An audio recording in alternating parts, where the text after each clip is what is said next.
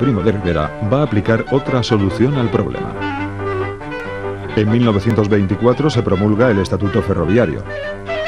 El Estado concede ayudas financieras a las compañías y se elevan las tarifas de los trenes.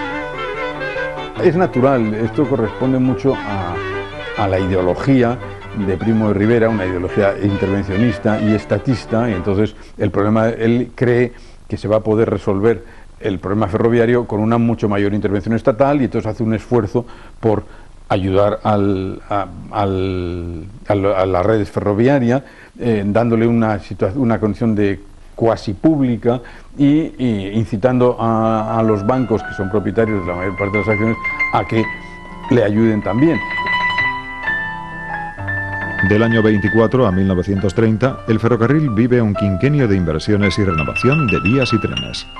Los coches de viajeros comienzan a gozar de los primeros servicios higiénicos y restaurantes, gracias a los cuales se consiguen acortar las paradas en las estaciones y, por tanto, reducir el tiempo de los viajes. Estas mejoras introducen también el lujo en el ferrocarril. Este coche mmm, perteneció a la Compañía de Nacional del Oeste que lo construye en 1929 y lo utiliza fundamentalmente el director de esta compañía para sus desplazamientos oficiales. Entonces, como veis, es un coche que está dividido en varios departamentos, el salón que normalmente utilizaban para trabajo, aunque nosotros lo tenemos un poco decorado como normalmente funcionaría a la hora de una comida. Tienen un pequeño aseo que está dotado incluso de ducha y después el dormitorio del director de la compañía y dos, otros dos eh, departamentos con, con camas literas.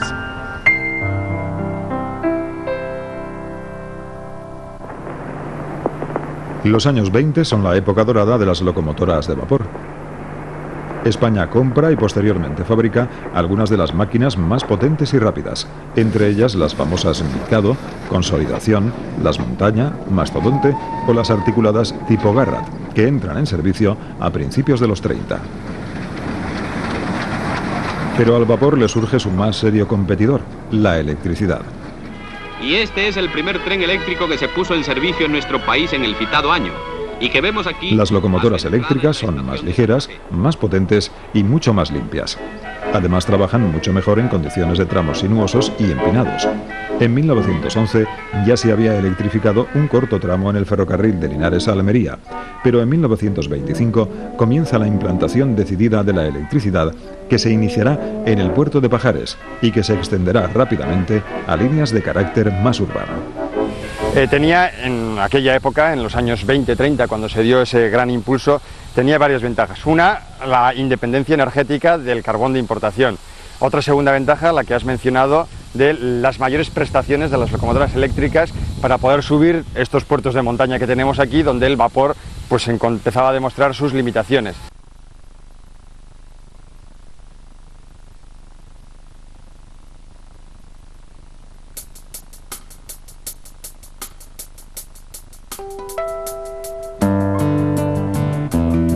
Es el momento de las locomotoras de las series 6000, 6100 y posteriormente las 7000, 7100, 7400 y 7500, las Cocodrilo.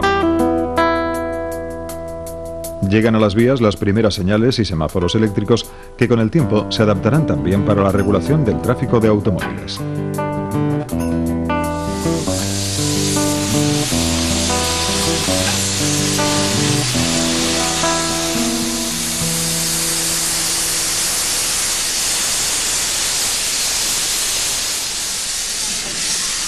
En 1928 nace la primera empresa pública, la Compañía Nacional de los Ferrocarriles del Oeste de España, que aglutina a un conjunto de pequeñas empresas en crisis. El tren en España goza de una relativa buena salud cuando está a punto de comenzar la década de los 30. La mayor empresa de España en 1920 es la Compañía Norte. Si no recuerdo mal, Norte tenía a comienzos de los años 20 56.000 trabajadores. No hay ninguna otra empresa en España, en ese contexto, que tenga ese número de trabajadores.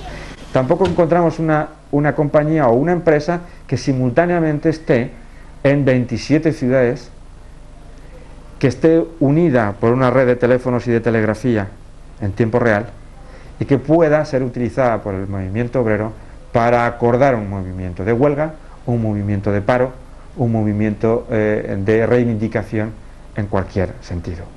El crack financiero del 29, que condicionará la política económica de la inminente república, no le sienta bien al ferrocarril. El tren español entra en una profunda crisis de la que va a tardar 30 años en recuperarse. Podríamos decir que las compañías ferroviarias no ven con buenos ojos la llegada de la República, no solamente por problemas o por cuestiones de tipo ideológico, que también, sino sobre todo por lo que supone de cambio en la política económica.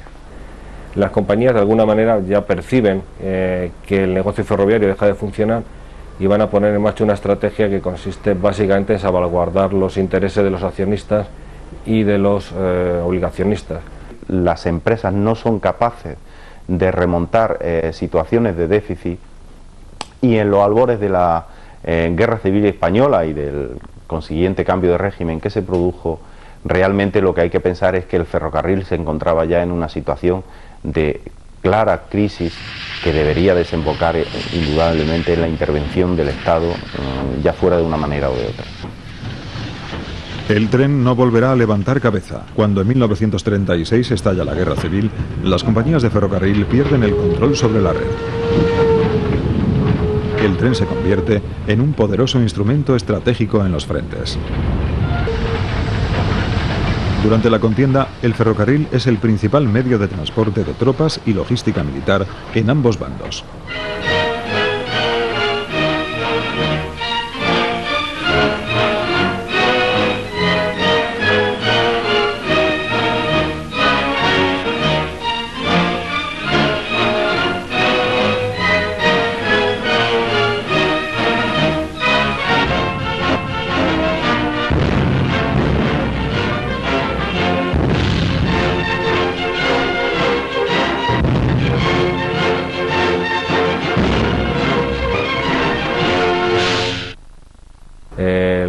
Gobierno democrático de la República dio prioridad a la legislación laboral, se produjo una vez que estalló la guerra civil una serie de medidas legislativas en favor de los intereses de los trabajadores y eso le privó, eh, por lo menos a priori, de una capacidad para poder utilizarlo como un, como un, elemento estratégico fundamental en la guerra. En el bando sublevado ocurrió lo contrario, es decir, Franco eh, desde el primer momento concibió el ferrocarril como un elemento estratégico fundamental para llevar a cabo toda su estrategia militar, lo militarizó y a partir de ahí, bueno, pues parece ser que cumplió un papel eh, mucho más óptimo, mucho más beneficioso para su estrategia militar que en el, bando republicano. El ferrocarril mm, obtiene un, un papel estratégico de primer orden y de hecho, a través de esta red ferroviaria es donde se van desalojando por parte de la República la maquinaria en las zonas, la maquinaria industrial de las zonas en las que, van siendo ocupadas por los franquistas.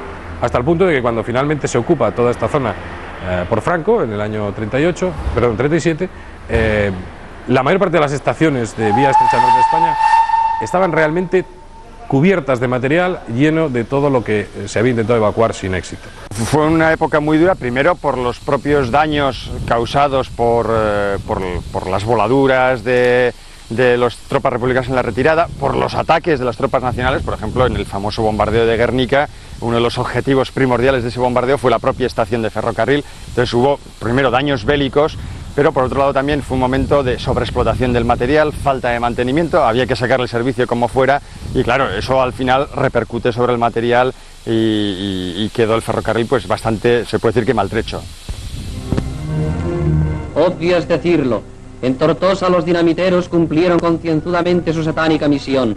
He aquí el puente sobre el Ebro, volado como tantos otros, por los que han sembrado de ruinas nuestro solar trincheras enemigas junto al río, inexpugnables hasta la llegada del general Yagüe.